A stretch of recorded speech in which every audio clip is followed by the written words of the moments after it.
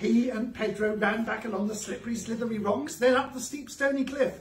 Behind them, the ghostly oars mice rowed quickly to the shore until their boat bonked against the rocks with a loud bonk.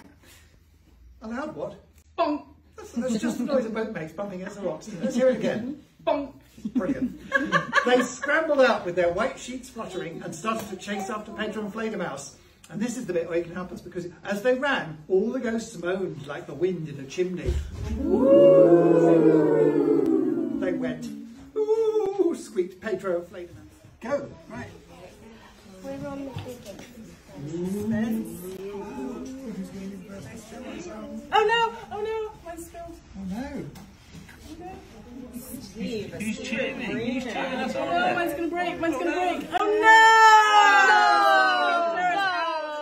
No! That was our team!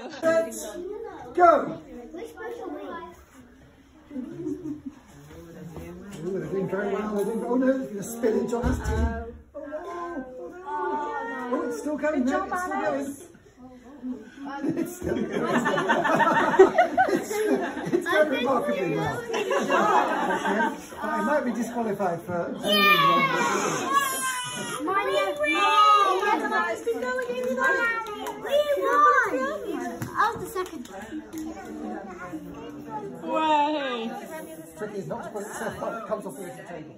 Um,